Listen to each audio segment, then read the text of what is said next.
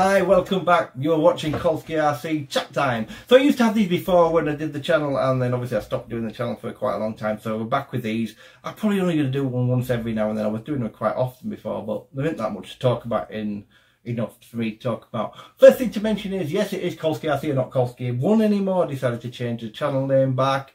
I put a quick poll on YouTube yesterday on the community tab and 100% people said they wanted it changed. So we're back. We're back as Colski RC and I do prefer it to be honest.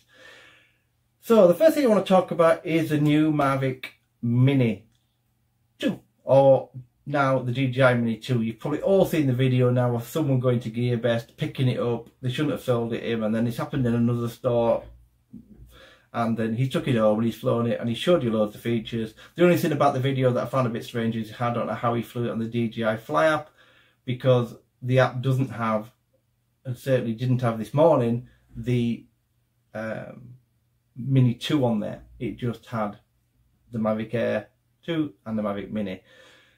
But he might well use the Mavic Airs because it's OcuSync, so it might well connect us. I imagine it probably did. So it's got a 4K camera. It has, they reckon, better wind resistance. It's the same weight, but they've knocked the milliamp hour down on the battery probably to get the weight in there of the four, with a 4K camera. And it's got OcuSync, which is one of its main features. Whether I'd still want to fly something 249 grams, just a couple of miles away, I personally wouldn't. I think it's a local flyer for me, but there's a lot of people out there done long range tests on the Mini before and it looked perfectly great. It needs to be better in wind because in the UK, I still find this drone quite unusable most of the time because I know people say you can fly it in 10 miles. I, I can't, so I don't understand other people are doing it because it's just difficult to get it back there. But does look fantastic and another major drone out in the market. So I'd imagine the Mini will go and we'll be left with the Mini 2. We'll have then the Mavic Air 2 and that's where we'll be. No competition still. We still have no competition to that drone, so the surprise was to me bringing out the Mini two, probably to give it the 4K camera. They obviously couldn't do that with software or anything else on that camera. On the other camera, so I don't know. It, to me, it didn't really, it doesn't make sense doing it when you have no competition, but obviously just to keep the market happy. So well done DJI for that. And a new drone is out. It's always good in it, and just in time for Christmas. The release dates, I don't know. I've seen various ones, 3rd, 5th, 7th of November. Price point, I'm hearing 699 for the Fly More combo in dollars, so I'd imagine that'll probably equate to 699 English pounds. So who knows what it's going to be, but certainly a major, major, major thing for Christmas coming out. And if you can actually go buy one, because obviously we're in lockdown in the UK as from the 5th again. So the second thing I wanted to talk about is Byte Shark, I think it's called, or Shark Byte, one of the two. Um, the new FPV system, digital from um, Fat Shark. Can't remember the name, Fat Shark, how strange is that? So, this thing is a million times better than the first one from the video I watched of Joshua Bardwell's last night. I don't think the video he did was anywhere biased toward um, the unit. I think he was quite honest about it. He did a comparison of range testing it and showing you the breakup it was getting compared to the DJI and the different. And the DJI looks better. Let's be fair. Let's do it quickly. The DJI looks better. But this system is available to put on your goggles. So if you own a pair of Fat Shark HDOs or Skyzone 03Os or the um, Eachine E300, which look fantastic, or the new Skyzone 04s that are coming out, all these have an HDMI port and they're all OLED. But even if you haven't got OLED goggles, you can use them on normal analog goggles, normal screen goggles, as long as it has an HDMI port, that's all it needs. Needs an HDMI in at the bottom. So this unit is about this size, clips on the front. It's got two uh, patch antennas built into it and it connects by a HDMI cable into the bottom of your goggles and that's how it works. You get a air unit type thing not really an A unit, but I don't know what to call it. So let's call it an A unit from now on. I think it's a 20 by 20 stack or 25 by 25 stack. I can't really remember.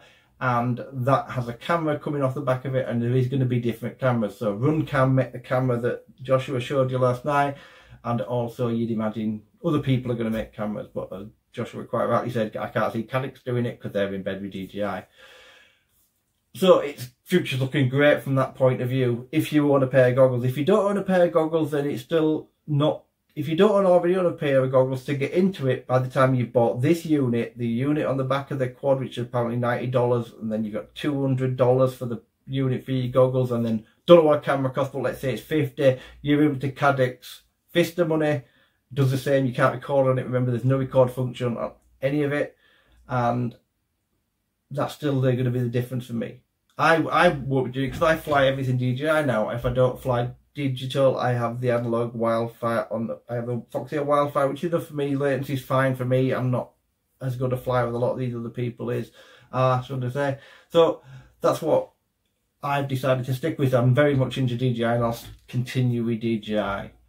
Um, even though the video I've got coming up later in the week might might have put me off a little bit, but I'm not going to spoil that one for the video that's coming up with some issues that I've had. So the goggles look great. The system, sorry, looks great. If you've got the goggles already, I think it's going to be great for you because you can just plug and play it. The $250 package that Joshua Bardwell showed you last night, which included the unit itself, the unit for the quad and the runcam camera was $250 but and that was on Get FPV but I believe they've all sold out. In the UK I can't find it anywhere. But it certainly does look good. I like the look of it.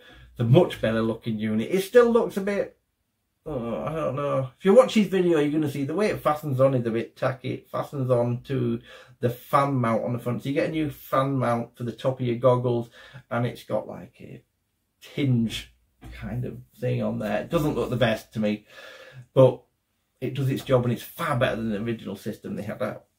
So it's all moving in the right direction. So that's nicely moving on to what I really want to talk about. So I made a video recently saying analog or digital, and with this coming out, oh, I can't see the future for analog goggles, analog, sorry, flying at all. I think that people have now got the option to put this onto the front of their units. I think more people will actually move over to digital.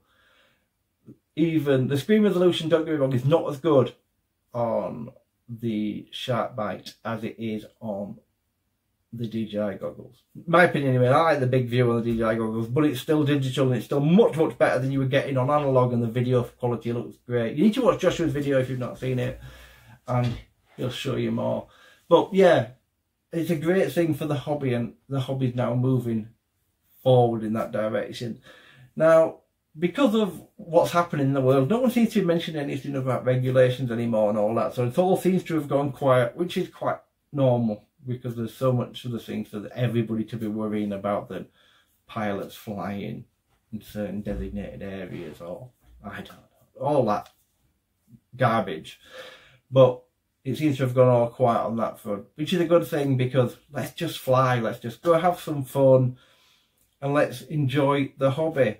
So the two major things I wanted to talk about was obviously, and there, and are two major things to me. To me, the massive things in the hobby, the Mini that's coming out, Mini 2 coming out, is a groundbreaker for me with that 4K camera under 250 grams. And then the Shark Byte, Byte Shark, I can't remember what it is. One of the two is another groundbreaker to me. I didn't think the system would be any cop at all after seeing the first one, but I'm impressed with what I saw last night watching this video. Like I say, for me, it doesn't really matter. So as you've seen, I've got quite a lot of videos on lately and I've got quite a lot coming up in the short period of time because I've had a drone purge. I've went and bought quite a lot of stuff. And one thing that people ask me all the time, and it's constantly questions I get either by email or on me, things tends to be more by email, is where should I buy a quad from? And that's a difficult one to answer. So as much as I have issues with Banggood, I still buy from them because of the fact I can save a hundred pounds, maybe more on certain things. Having said that, if I can buy from the UK, I do. The Nazgul HD that I did recently, I did buy that from Man Tech because there was only £20 difference from buying it from Banggood. And I got it course the next day. I bought it on paid £6.99 postage and got it next day because I'm impatient. But there was only a little bit of difference. I buy my motors, frames, stacks from the UK from Unmanned Tech. I tend to just use Unmanned Tech, but I also use Flying Tech for certain things. And the Drone Authority is another company I use for certain things. So there's quite a few people in the UK about. I tend not to use quadcopters.co.uk because they never seem to have anything in stock. So it tends to be them three, normally Unmanned Tech. So if you're buying, you want to buy a drone, you can buy the drone from Unmanned Tech. You can buy virtually everything. They'll, when I say everything, they still tend to send the latest and greatest of stuff coming out. But to use a big example, I've just bought the iFlight Chimera 7 inch HD, the one with, and it had everything on it, and it was 396 on Banggood. I used a, I found a discount code because you always can to get 10% off, so it come in about 360 delivered, but it was 467 on Unmanned Tech site. No, and uh, as much as I want to buy British, I'm not going to spend a hundred pound. So you have to then buy from Banggood.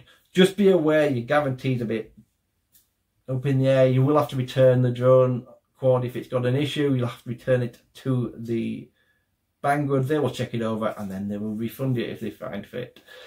If it's something minor on the quad, you can fix it yourself and they offer you some money in compensation. You, it's more than enough to fix a quad. Just do that because you're going to save yourself a whole lot of heartache. I've been there, trust me. I've fought the fight with Banggood and can you win? Probably not. So that's the end of this. Thanks ever so much for watching. Have a fantastic day. Don't forget like, share and subscribe. But most of all, stay safe.